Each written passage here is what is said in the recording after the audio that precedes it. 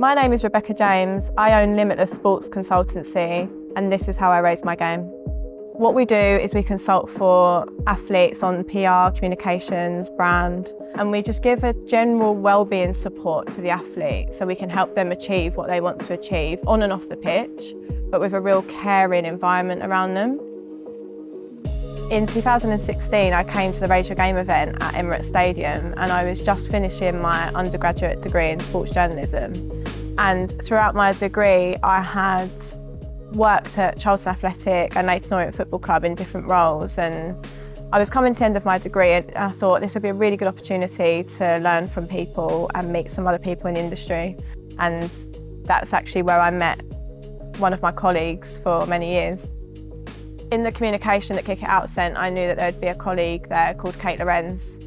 But when I was there on the day, I went to find her, and luckily, someone hadn't turned up for one of her appointments. So I asked her if she would mind me sitting with her and talking to her. We spent 15, 20 minutes talking to each other. She asked me about my experience, and I talked her through my roles and my degree and everything I'd learned, what I was passionate about. And at the end of the appointment, which I shouldn't have really had, she asked me if I was available to have a conversation with her afterwards, which I of course accepted. I then went over to the offices straight after the event with her and took my CVs with me and sat down and had a conversation with Mark Gonnella, who's the Director of Communications at the time. And I went through the entire interview process for this maternity cover role in the comms team and I ended up getting the job. Thankfully, I made a bit of a position for myself there. And I was so happy to stay on. And seven and a half years later, I was still there. So it was a really good decision to speak to Kate that day. It's so important that there's events like Raise Your Game to give people the opportunity to meet like-minded people in the industry that want to give people an opportunity to learn, give people mentorship to get the roles that they want and to develop into the career that they really are passionate about. And I would also say that being a female in a male dominated industry, it is also really important to have other females around you because we have similar experiences and similar challenges.